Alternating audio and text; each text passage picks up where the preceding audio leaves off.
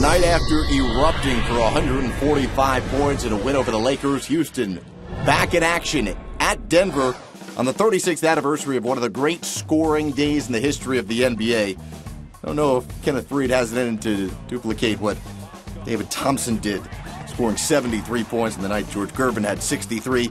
Uh, but here at Faried, a two-handed slam, and that's going to put Denver up 16 8. Both teams playing shorthanded. No Dwight Howard and Patrick Beverley again for the Rockets. No Ty Lawson for the Nuggets. Jeremy Lin from downtown getting the feed from Omer Asik. And then Lin again. He had 18 points in the second quarter, hitting all four of his three point tries. Randy Foye, the alley oop from near midcourt. Kenneth Faried, the bucket and the foul. He had 23. Foye had 15 assists in the game. This another one over to Timofey Mozgov right at Omer Asik.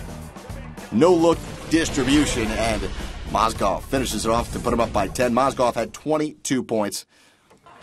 Uh, a scary moment here for Rocket fans, but it wouldn't be all that bad because James Harden would go down, appear to have a knee injury, but he would return.